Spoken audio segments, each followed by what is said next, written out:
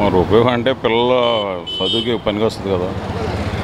ఇప్పుడు వెళ్ళి పేదవాళ్ళకి డబ్బులు తీసుకో అదే చదువుకోవడానికి అది ఆసరా ఉంటుంది కదా సామాన్య మానవుడు మాకేం తెలుస్తుంది మాకు కేసులు మాపి గురించి అందరం వెళ్ళాల్సిన పనే ఉంది ఆయన.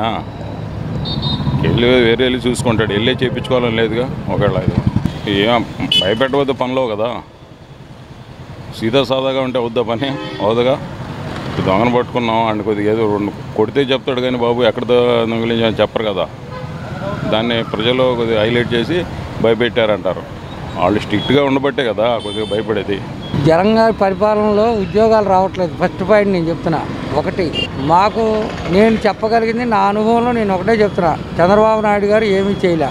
కానీ అందరికీ పథకాలు పెట్టి చదువుకున్న వాళ్ళకి ఎవరికీ ఉద్యోగాలు ఇవ్వట్లేదు. దయచేసి గవర్నమెంట్ వారు ప్రతి ఒక్కరికి చదువుకున్న పిల్లలకి ఉద్యోగం ఇవ్వాలి. First point.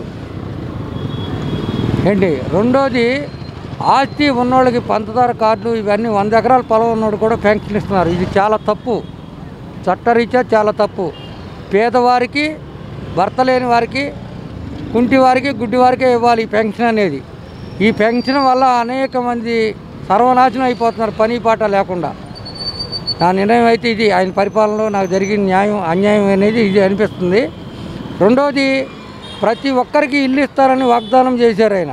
అలాగే ఇల్లు ఉన్నారా లేదా అని చెక్ చేసి మరొకసారి ఇల్లు లేని వాళ్ళకి ఖచ్చితంగా ఇల్లు ఇవ్వాలి. ఒక్కొక్కళ్ళు రెండేసి పేర్లు రాసుకొని ఈ కార్డును మాఫీ చేస్తున్నారు.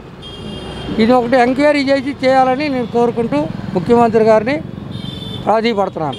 పోలీసుల పనితీరు ఒక రకంగా ఉందండి. ఎందుకనంటే సామాన్యంగా వాళ్ళు కష్టపడుతూనే ఉన్నారు. కానీ కొన్ని విషయాల్లో కఠినంగా ప్రవర్తిస్తున్నారు. అది ఎవరు దొంగల పట్ల ప్రవర్తించాలి లేకుంటే ఏదైనా అన్యాయం చేస్తే ప్రకటించాలి. కానీ ఉచితంగా బళ్ళు అవటం వారి యొక్క ఉద్దేశంలో పెట్టడం కాగితం లేకపోతే ఇది చేయటం ఇలా ఇది మంచి పద్ధతి కాదు.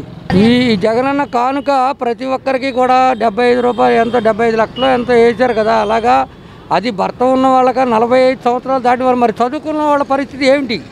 చదువుకున్న వాళ్ళకి మీ గవర్నమెంట్ ఏం చేస్తుంది అసలు చెప్పండి? గతంలో చంద్రబాబు నాయుడు గారు చేసిన పరిపాలన అంతకుముందు చేసిన పరిపాలన పన్నెండేళ్ళ నుంచి గవర్నమెంట్ ఉద్యోగం వచ్చిన వాడు లేడు బీటెక్ ఎంటెక్ చదివి రోడ్డు మీద అడుక్కుంటున్నారు వాళ్ళు.